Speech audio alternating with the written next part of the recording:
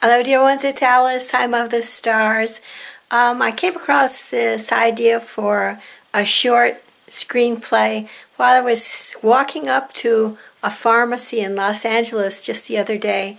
Uh, I had thought it might have to do with uh, something that had happened there some months back, maybe in March or April, and to do with the COVID pandemic in Los Angeles as it was felt there. I, being an empath has its drawbacks. The very first thing I did was I put myself in the shoes of the person in the story. So when you hear the storyline here, uh, just imagine that it's someone else, not me. Uh, and that it may really have happened or might not. Um, I think it expresses very well, though, the the feeling uh, that was happening in Los Angeles at the time when the pandemic struck. Uh, I think it has a lesson in it for all of us regarding compassion uh, towards the sick in times like these, as opposed to government recommendations, if you get my gist. Hope you like it, and I hope you're all well and safe and happy on your journey towards winter solstice without further ado, here goes.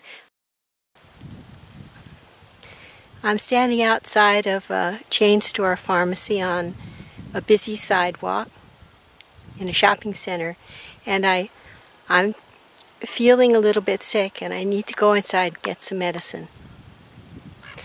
So I open the door of the pharmacy with my mask on and I start to take a shopping cart out and I cough and the security guard rudely bids me leave the store.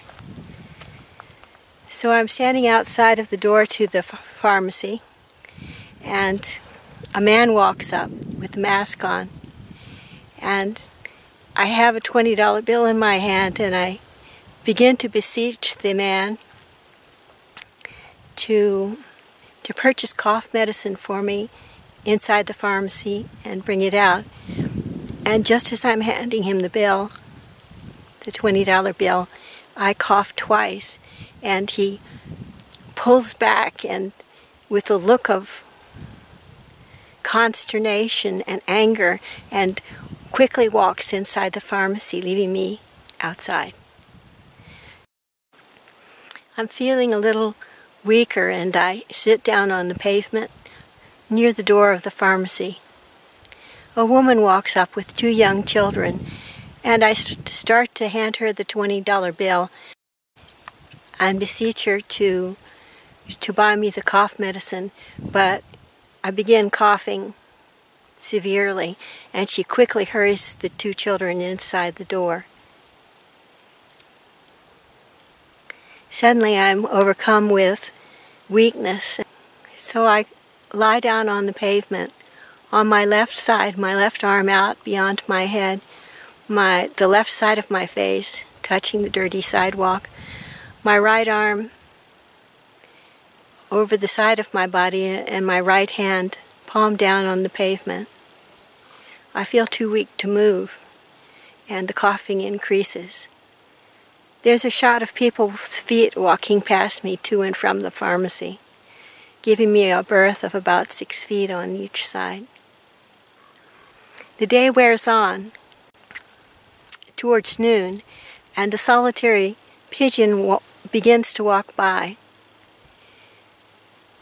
As the pigeon approaches my face, I can see its yellow feet clicking against the pavement, and I cough once.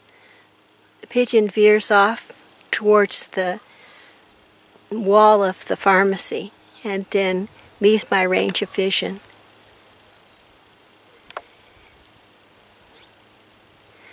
The afternoon wears on tonight. In the evening fall, I have stopped coughing and I'm lying still and in the same position, not having moved at all. In the middle of the night, there's darkness all around. No one is walking on the pavement. There are no pigeons out. And I've lie motionless on the sidewalk. There's the one teardrop marring the pavement near my left eye. And that's the story of COVID in the USA.